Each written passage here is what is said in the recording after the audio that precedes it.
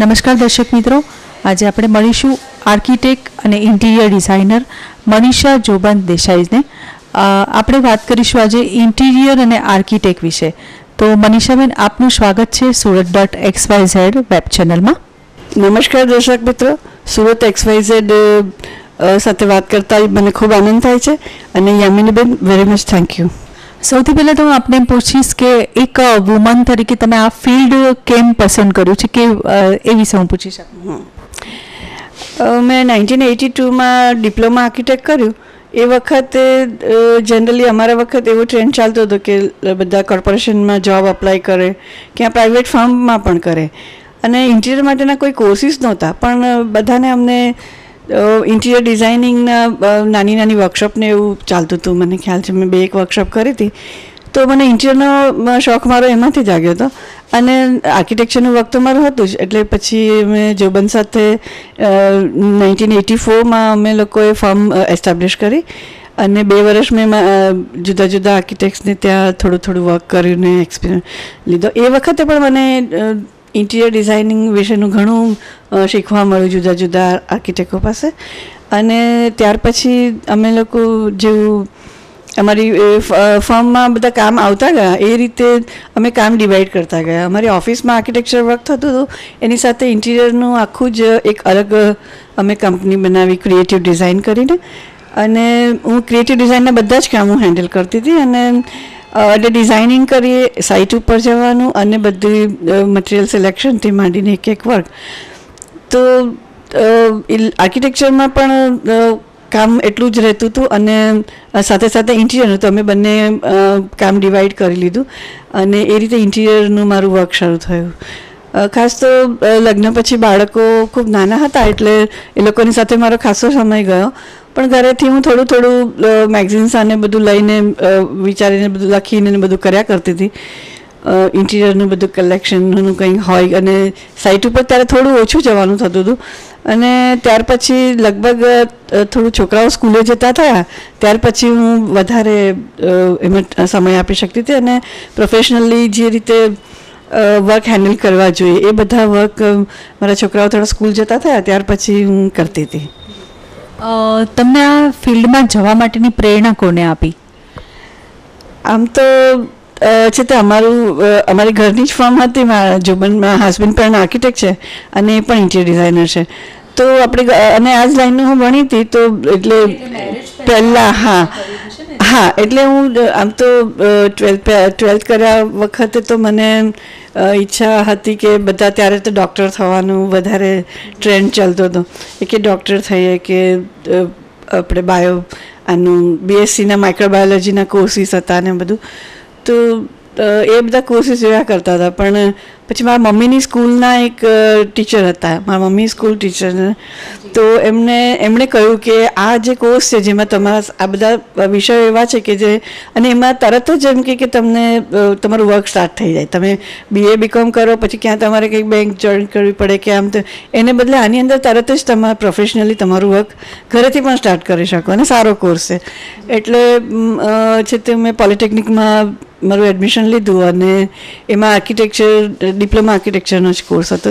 તે વખતે ઇન્ટિરિયર ડિઝાઇનને એકદમ પ્રોફેશનલી જેમ અત્યારે ચાર વર્ષનો ડિગ્રી કોર્સ વગેરે છે એવું એ વખતે સેવન્ટી નાઇનમાં અહીંયા કોઈ સુરતમાં કોઈ પ્રોવિઝન નહોતું. એટલે સ્પેશિયલી ક્યાં તમારે બોમ્બે કે અમદાવાદ જવું પડે. અને છોકરીઓને કે બરોડા એમએસમાં કદાચ મારા ખ્યાલથી ઇન્ટિરિયરનો કોર્સ હતો. પણ જનરલી બારગામ મોકલવાનો કોઈ આમ ઈચ્છા નહોતી. હા એટલે પછી એમ કે ઇન્ટિરિયરનું તો તમે બધું બહારથી પણ શીખી શકો અને કામ કરતાં કરતાં બધું આગળ. એ રીતે અમે લોકો કરતા ગયા અને ખાસ આમને મારા મમ્મીને એ લોકોને કારણે જ મને આ કોર્સ વિશે જાણવા મળ્યું હતું. એટલે પપ્પા, મમ્મીએ પછી બંને આ બધી કોર્સ વિશે તપાસ કરી કે કેવું છે, કે આમાં કે ત્રણ વર્ષનો કોર્સ છે અને સરસ એની અંદર ઘરેથી પણ વર્ક કરી શકાય છે એવું કહ્યું, એટલે આપણને એમ કે ચલો સારી રીતનું કે ઘરેથી ડ્રોઈંગ કરીને તમે વર્ક કરી શકો. જી એક મહિલા તરીકે આ કામ ઇન્ટિરિયર કરવું અને આર્કિટેક્ચર કરવું એ ઘણું મુશ્કેલ હોય છે. કારણ કે ઇન્ટિરિયર ડિઝાઇનિંગ માટે તમારે બહાર વિઝિટ કરવી પડે. આર્કિટેક્ટ હોવ કે ઇન્ટિરિયર ડિઝાઇનિંગ કરો. બંનેની અંદર તમારે બહાર જઈને જ વર્ક કરવું પડતું હોય છે. મીન્સ કે તમારે સાઇટ વિઝિટ કરવી પડે, મટીરિયલ્સ જોવા પડે. તો આ બધું તમે બહાર જઈને કરો છો ત્યારે તમને મુશ્કેલી કદાચ પડતી હશે. તો એ હા, એટલે તમે આપણી સામાજિક પરિસ્થિતિ જુઓ તો જોબ કરતા હોય કે કોઈ પણ ફિલ્ડની વુમન હોય એને છે તે એના ફિલ્ડમાં એ તકલીફો રહેવાની અને ખાસ કરીને ઘરેથી પણ એટલી તકલીફો રહેવાની કારણ કે પોતાનું ઘર સાચવવાનું અને પરિણિત સ્ત્રીઓ માટે ખાસ બધી જ એટલે અનમેરિડ સ્ત્રીઓને પણ વર્કિંગ જગ્યાઓ ઉપર મુશ્કેલીઓ તો હોય છે. પણ ને આપણે ઘરનું વર્ક સંભાળવાનું હોય છે, સાથે બહારનું પણ વર્ક સંભાળવાનું હોય છે. એટલે એક સ્ત્રી તરીકે એવું કંઈક આપણું એવી કોઈ તકલીફ નથી પડી પણ તમારે થોડી તમારી વધારે એફર્ટ્સ એમાં આપવી પડે કે તમારે તમારું પ્રોફેશન સાચવવાનું છે અને ઘર છોકરાઓ બધું સાચવીને સાથે કામ કરવાનું છે. ઇન્ટિરિયર ડિઝાઇનિંગ લાઈન એવી છે કે તમારે ઘણું બધું ધ્યાન આપવું પડે. કારણ કે બહુ જ નાની નાની ડિટેલો હોય છે એની અંદર અને સાઇટ વિઝિટ બહુ જ જરૂરી છે.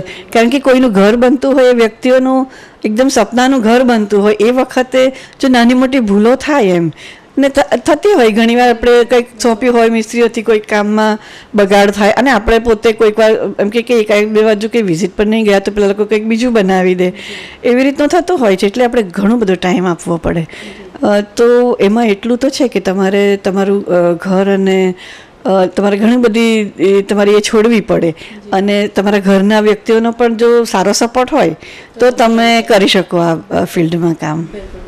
જ્યારે તમે ઇન્ટિરિયર કરું ત્યારે જે મટીરિયલ્સ કહો કે જે પણ કંઈક તો એના અને અત્યારના મટીરિયલ્સમાં બધું આધુનિક જે આવી રહ્યું છે, આધુનિક સિસ્ટમ આવી રહી છે, તો એમાં શું ફરક છે? પહેલાં તમારે ચોઇસ કરવું પડતું હતું કે ભાઈ કલરને ચોઇસ કરવું છે, તો તમારે શોપ ઉપર જઈને કલર ચોઇસ કરવો પડતો હતો.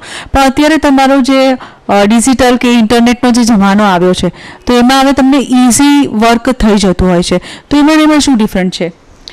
હા એ વખત આપણે શહેર જેમ જેમ ડેવલપ થતું ગયું ને એ રીતે બહારની બહુ જ કંપનીઓ અહીંયા આવે છે, ડેમો એ લોકોનો હોય છે, એક્ઝિબિશન્સ રાખે છે. એટલે જનરલી હવે બહુ જ મટીરિયલો મળવા માંડ્યા છે. અને આપણા દેશની જે પોલિસીને લીધે જે પ્રકારે મલ્ટી બિઝનેસ એક્સપોર્ટ, ઇમ્પોર્ટમાં પણ ઘણું સરસ થઈ ગયું છે. એટલે બધી જ ફોરેન કંપનીઓ પણ અહીંયા આવીને પોતાની પ્રોડક્ટ સેલ કરે છે. તો એનાથી એક ઘણો ફાયદો થયો છે. અને એ વખતે એવું થતું હતું કે આપણે બોમ્બે કે અમદાવાદમાં કે દિલ્હીમાં મોટા એક્ઝિબિશનો થાય. અને એ લોકોને એવું લાગતું હતું કે સુરતમાં આ બધી આટલી હાઈફાઈ વસ્તુઓનું શું માર્કેટ હશે પણ પછી હવે હકીકત એ છે કે આપણે અહીંયાનું ડાયમંડ ટેક્સટાઇલ એટલું છે કે તમે દુનિયાની કોઈ પણ હાઈફાઈ ઇન્ટિરિયરમાં વસ્તુઓ આપણા અહીંયા યુઝ થતી હોય છે. પણ આર્કિટેક્ટ ઇન્ટિરિયર ડિઝાઇનરને પ્રોબ્લેમ એ થતો હતો કે આપણે બહારથી લાવવું પડતું હતું. હવે મોટાભાગની કંપનીઓ ઓનલાઈન કોન્ટેક્ટ કરે છે અને આપણા શહેરના એક્ઝિબિશન્સ જે પણ કંઈ થાય છે મટીરિયલના એમાં લગભગ આપણે જે પણ લોન્ચ થઈ હોય પ્રોડક્ટ નવી સ્પેશિયલ દુબઈમાં હોય છે એટલું નથી હોતું. બાકી બોમ્બે દિલ્હી ની જેટલી પ્રોડક્ટ છે એ તો આપણા સુરતમાં આવી જ જાય છે. આવી જ જાય છે. પણ ઘણા ખરા લોકો હજી પણ ઇટાલિયન એક્ઝિબિશન્સ ને બધું વધારે પસંદ કરે છે કારણ કે ત્યાંથી વધારે વેરાયટીઝ હોય છે એ. અત્યારે ટ્રેન્ડ શું ચાલી રહ્યો છે ઇન્ટિરિયરની અંદર? અત્યારે ટ્રેન્ડમાં તો પહેલાં જે પ્રકારે એકદમ આખું વુડન સીલિંગો બનતી હતી. કે આપણે વોલ ઉપર ક્લેડિંગ કરી દેતા હતા, એવું નથી રહ્યું. હવે જનરલી છે ને તે બહુ જ લોકોને લાઇટ ઇન્ટિરિયર પસંદ છે. જો કે ઘણા લોકોને, ધારો કે તમારે કોઈ એક રૂમને ટ્રેડિશનલ બનાવવો છે, એવો ટ્રેન્ડ ચાલે છે, કે તમે આખા ઘરને કદાચ એક એક કલર થીમ એક હોઈ શકે. પણ દરેક કોઈ કોઈ જુદા જુદા રૂમોને ધારો કે તમને એવું ગમે કે મારે મારે ઇન્ડિયન ટ્રેડિશનલવાળો એક રૂમ બનાવવો છે અને બાકી લિવિંગને બાકીની બધી વસ્તુઓ મોડર્ન થઈ ગઈ છે. એટલે જનરલી લોકો ઓછા મેન્ટેનન્સવાળું ફર્નિચર વગેરે પસંદ કરે છે. અને વિનિયરનો ખાસ કરીને ઉપયોગ અને ખાસા નવા નવા કોરિયન મટીરિયલ્સ એન્ડ એવરીથિંગ એટલા બધા વેધર પ્રૂફ અને ખૂબ સરસ મટીરિયલો આવી ગયા છે. એટલે હવે ટ્રેન્ડ આખો બદલાયો છે અને અમારે એમાં અમારા નવા જનરેશનમાં મારા છોકરો છોકરીને લોકો પેરામેટ્રિક ડિઝાઇન સ્પેશિયલાઇઝ છે એમાં. એટલે ઇન્ટિરિયરમાં એ રીતનું એપ્સ જે બધું બહુ ઓછું એવું ઇન્ટિરિયર થાય છે. એ પ્રકારના ટ્રેન્ડ પણ વધારે છે આપણે ત્યાં. ખૂબ સરસ. ન્યૂ જનરેશન માટે આ ઇન્ટિરિયર કે આર્કિટેક્ટ બનવું કેટલું યોગ્ય છે? અને ખાસ કરીને સ્ટુડન્ટ માટે કેટલો સ્કોપ છે? હા એટલે આ લાઈનમાં ભણવાનું તો બહુ જ સરસ અને એટલે મહેનત ભણતી વખતે પણ એટલી છે અને ફિલ્ડમાં સેટલ થતી વખતે પણ એટલી જ છે. પણ તો પણ આ ખૂબ સરસ લાઈન છે અને હવે તો બહુ જ વધારે પર્સન્ટેજે કોલેજોમાં એડમિશન મળે છે, કારણ કે પ્રોફેશનલી આ બહુ સક્સેસ લાઈન છે. એટલે સ્ટુડન્ટોએ એમાં એ લોકો મોટાભાગના સ્ટુડન્ટો શરૂઆતની મહેનત જોઈને કંટાળી જાય છે, કારણ કે ગમે તેટલું કમ્પ્યુટરાઇઝ થયું હોય, પણ આ લાઈનની અંદર હાથનું સ્કેચવર્ક અને બધું ઘણું હોય છે.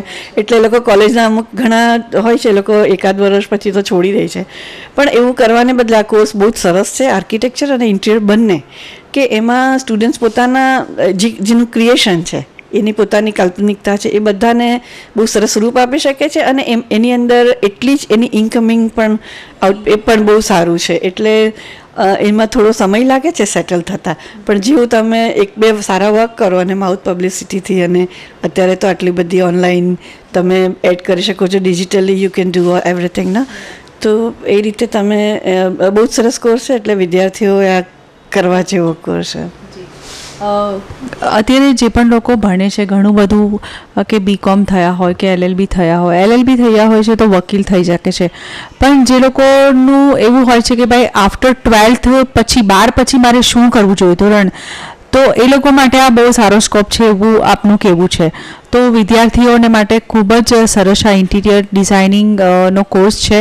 તો આપ કરી શકો છો અને ખૂબ સારી ઇન્કમ જનરેટ કરી શકો છો થોડા સમયમાં. તો બીજી આપણે વાત કરીશું કે પહેલાં આપણે કોમ્પ્યુટર નહોતા અને હવે કોમ્પ્યુટર આવ્યા છે. તો એમાં કોર્સિસમાં કોઈ ફર્ક છે કે જે મેન્યુઅલી વર્ક તમે ભણો છો?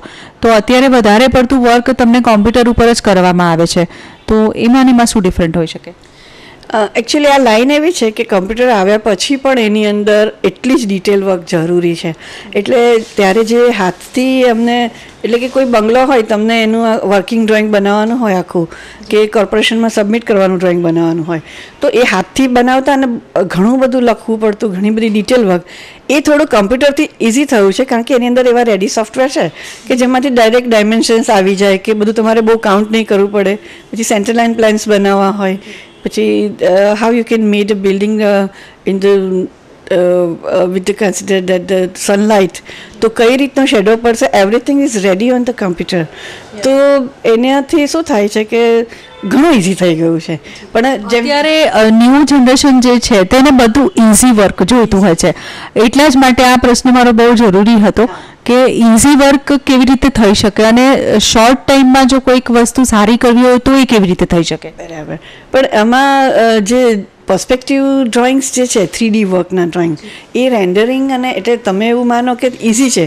પણ કમ્પ્યુટર પર પણ સતત બેસીને તમારે વર્ક કરવાનું હોય છે. એટલે એ રેન્ડરિંગને બધું પણ બહુ જ લેન્થી વર્ક છે. અને છે કમ્પ્યુટરથી એટલું છે કે આપણે બધું સાચવવાનું એને પછી પ્રેઝન્ટ કરવાનું આપણું જે ડિજિટલ માર્કેટિંગ એ બધું ઘણું સહેલું થયું છે. કે પહેલાં એવું હોય કે દોડીને કોઈ પ્લાન આપવા જતા કે ભાઈ આરસીસીમાં આપવા જવું. એ બધું હા એ બધું ઘણું થયું છે. પણ જે કામ પાછળની મહેનત છે એ તો તમારે જે સ્કેચ હતા એટલી જ આની ઉપર થતી હોય છે. એટલે આમાં ફરક તો બી એટલે છે કમ્પ્યુટરને લીધે ઘણો ફરક પડે છે. મતલબ ઇન શોર્ટ કે સમય તમારો ખૂબ બચી જાય છે કે જે તમારે રૂબરૂમાં જઈને જે વર્ક કરવું પડતું હોય છે એ હવે તમે પર્સનલી કોમ્પ્યુટર પર અથવા તો ઈમેલ દ્વારા પણ તમે તમારું એ પ્રોજેક્ટ કે જે પણ કંઈ છે કે ડિઝાઇનિંગ છે તમે મોકલી શકો છો. એટલે સમયનો ખૂબ બચાવ થાય છે. અને એમાં તમે ઘણું બીજું સારું વર્ક કરી શકો છો. અને એક ફાયદો એ થયો છે કે તમે ઓન સાઇટ કેમેરા મૂકી શકો છો વેબકેમ્સ તો તમે તમારી ઓફિસથી એક્ઝિક્યુટ કરી શકો અને તમે બહારગામનું કોઈ વર્ક કરતા હોવ તો પણ તમે ત્યાંના એ કેમેરા સાથે જોઈન્ટ કરીને તમે અહીંયાથી કામ હેન્ડલ કરી શકો છો. એટલે you can do your work globally it's very nice ખૂબ જ સરસ. હવે આપણે વાત કરીશું કે ઘરની અંદર આપણે જ્યારે ઇન્ટિરિયર કરાવતા હોય છે, તો એમાં વાસ્તુનું કેટલું મહત્ત્વ હોય છે? કારણ કે જે પણ લોકો નવું ઘર લેતા હોય છે, ઇન્ટિરિયર કરાવતા હોય છે સૌથી પહેલાં વાસ્તુશાસ્ત્રને બોલાવીને મીન્સ કે વાસ્તુનું કરાવતા હોય કે ભાઈ અમે રસોડાનું અમારું સિચ્યુએશન ક્યાં હોવી જોઈએ, કે અમારો લિવિંગ રૂમ ક્યાં હોવો જોઈએ, કે અમારે કબોર્ડ્સ ક્યાં રાખવા છે, તો આ બધું કેટલું જરૂરી છે? હા, વાસ્તુશાસ્ત્ર તો આપણા ભારત દેશ સાથે એટલું બધું વણાયેલું છે કે, અને આપણે ધર્મ પ્રત્યેની એટલી બધી આસ્થા છે એટલે લોકોને ગમે છે એ વસ્તુ. અને એનો ખાસો શાસ્ત્ર સાથે વૈજ્ઞાનિક બેઝ પણ છે.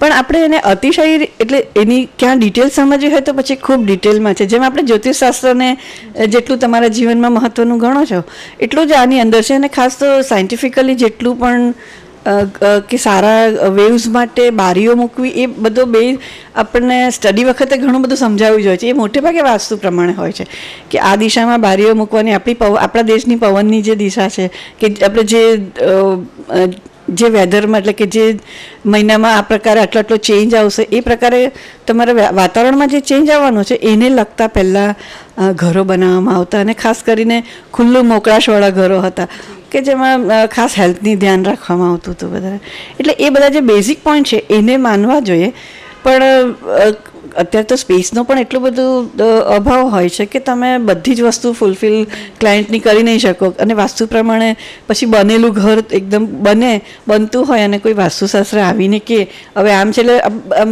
ઇન્ટિરિયર ડિઝાઇનર પણ અમને પણ એમ થાય કે ના ના એક નવી બનતી વસ્તુ છે આપણે ચેન્જ કરી લઈએ. પણ બધી જ વસ્તુ એટલી બધી એટલે તમને પછી જ્યોતિષ સાથે જ જોડીને કે કે તમારી રાશિ માટે આ બારું છે એટલું બધું અમે નથી ફોલો કરતા. પણ બેઝિક જે પોઈન્ટ્સ છે તે વાસ્તુશાસ્ત્રને ફોલો કરીએ છીએ. બેઝિકમાં એટલે રસોડું કઈ દિશામાં હોવું જોઈએ અને આપણું ધર્મનું ધાર્મિક કે જે કે મંદિર કઈ દિશામાં હોવું જોઈએ. તો એ કઈ બેઝિક તો આપને ખ્યાલ જ હશે. તો એ આપણે દર્શક મિત્રોને જણાવી દઈએ. હા એટલે આપણે ઈશાન ખૂણામાં આપણો ભારત દેશમાં પૂર્વ દિશામાં આપણે સૂર્યના દર્શન કરીએ છીએ અને આપણી મૂર્તિની ફેસ પશ્ચિમ તરફ હોય છે, આપણો ફેસ પૂર્વ તરફ હોય. એ રીતની મૂર્તિ મૂકીએ એટલે ભગવાનનું મંદિર એ રીતે હોય છે. અને સાઉથ ઈસ્ટ ખૂણામાં કિચન બનાવે છે. કારણ કે એ જ, એ ખૂણો એવો છે સાયન્ટિફિકલી કે ત્યાં વોર્મ રહે છે. ઘણો અને આપણા ઘરનો એટલે ખાદ્ય પદાર્થો બધા ત્યાં હોય છે. તો એક, એને લીધે ચોખ્ખું વાતાવરણ રહે છે. ડાયરેક્ટ સનલાઇટ આવતી હોય. એ બાજુ બારીઓ મૂકવામાં આવે છે અને એટલે એ દિશાને સારી માનવામાં આવે છે. અને બેડરૂમનું એક કહે છે કે બેડરૂમનો ખાસ પર્પઝ એ છે કે એ વરસાદની દિશા છે. એટલે ત્યાં પેલા ઘરની મોટી વ્યક્તિએ ત્યાં રહેવાનું અને બાળકોનો રૂમ આ બાજુ હોય. એટલે અને ત્યાં એ ભાગને બંધ કરવાનું કહે છે એ લોકો નૈઋત્ય દિશાને. ખાસ તો વરસાદને, એટલે વેધરથી બચવા માટેના જ મેઇન એ આપ્યા છે આપણને બધા માર્ગદર્શનમાં એ લોકોએ. આપણા શાસ્ત્રમાં ખાસ એને માટે જ કહ્યું છે. એટલે એટલું આપણે માનવાનું વાસ્તુથી ફાયદો થાય છે ખરો? આ તો છે એકચ્યુઅલી કોઈ બી વ્યક્તિનું છે ને, તે એફિશિયન્સી પર જ ડિપેન્ડ છે કે એણે હાઉ હી બિહેવ એનું હાઉ હી વર્ક અને પછી એની લાઈફમાં જે બી કંઈ, એ દુનિયાના દરેક દુઃખ ફક્ત વાસ્તુને કારણે નથી આવ્યા. એટલે બધી ઘણી બધી વસ્તુને સાંકળી લેતા હોય કે હું અહીંયા બેઠો ને આમ થયું. પણ આપણી મે બી આપણી ફૂડ હેબિટ્સને કારણે આપણે માંદા પડતા હોય એવું પણ બને. એટલે દર વખતે વાસ્તુ એને માટે કારણરૂપ હોય એવું નથી. ખૂબ સરસ. હવે આપણે વાત કરીશું કે ઇન્ટિરિયરની અંદર કે આર્કિટેક્ટની અંદર આ ટર્નકી વર્ક આપ કેવી રીતે કરો છો? એટલે ચંકી વર્કમાં ક્લાયન્ટ્સ મોટે ભાગે છે ને બહુ એ લોકોનું બહુ બિઝી શેડ્યુલ હોય કે એ લોકો બહુ એમાં એ રીતે બધું હેન્ડલ નહીં કરી શકતા હોય, તો એ લોકો કે તમારે અમને આખું જ બધું બનાવીને આપી દેવાનું. ખાલી કલર સિલેક્શન કરાવે કે એવું. એટલે મટીરિયલ પણ ઇન્ટિરિયર ડિઝાઇનરે પોતે, એટલે એ આખી તમારી પોતાની કંપની જ તમારે કરી હોય. એને ડેકોરેશન અને ડિઝાઇનિંગ બે વસ્તુ એમાં સાથે આવી જાય.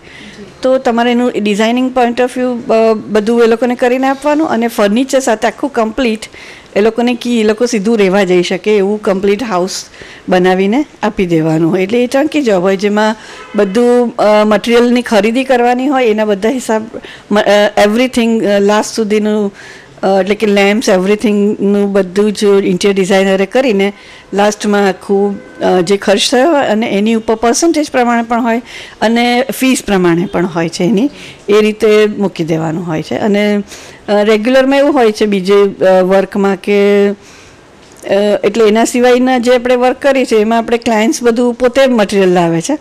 અને તમને ઇન્ટિરિયર ડિઝાઇનરને હાયર કર્યા હોય ફોર ધ એક્ઝિક્યુશન અને ડિઝાઇનિંગ તો આપણે એમને વર્ક કરી આપવાનું હોય છે. એમાં ફક્ત વિઝિટ જ હોય છે અને આપણે પર્સન્ટેજ પ્રમાણે ફીસ મૂકવાની હોય છે.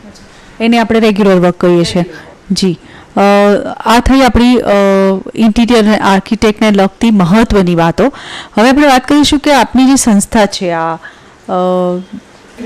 ક્રિએટિવ ડિઝાઇનિંગ તો એ એ વિશે આપણે વાત કરીશું કે અત્યાર સુધી આપણે ઘણા બધા એવા સારા મોટા કામો બી કર્યા છે. તો એવોર્ડ્સ વિશે આપણે વાત કરીશું. હા, એટલે અમારું જોબન દેસાઈ અને જોબન દેસાઈ એસોસિએટ અમારા બેની પાર્ટનરશિપમાં અને ક્રિએટિવ ડિઝાઇન્સ એમાં ઇન્ટિરિયરનું એક ફર્મ બેઉ સાથે. એટલે એમાં ઘણા બધા એવોર્ડ મળ્યા છે. દિલ્હીમાં, બોમ્બેમાં અને લંડનમાં આઈઆઈએફએસનું એવોર્ડ મળ્યો છે બેસ્ટ આર્કિટેક્ટ્સનો અને એ વખતે પછી અમે જ્યારે પોલીસ સ્ટેશન ઉમરા પોલીસ સ્ટેશનનું બનાવ્યું હતું. એ બિલ્ડિંગ વખતે એ લોકોએ સન્માનિત કર્યા હતા એટલે એવા ઘણા વર્ક કર્યા છે. અને એમાં ઘણા એવોર્ડ મળ્યા છે. ખૂબ જ સરસ આપણે વાત કરી મનીષા જોબન દેસાઈ. ખૂબ સરસ આપનો આપની સાથે વાત કરવાની અમને મજા આવી અને અમારા દર્શક મિત્રોને પણ ખૂબ જાણકારી મળશે આપની સાથે વાત કરવાથી. તો thank you so much thank you યામિનીબેન. અને મને ખૂબ આનંદ થાય છે કે તમે આજે આપણે મળ્યા અને આ વિષય વિશે આટલી બધી વાતો કરી. અને મને આશા છે કે દર્શક મિત્રોને એમાંથી ઘણું જાણવાનું મળ્યું હશે.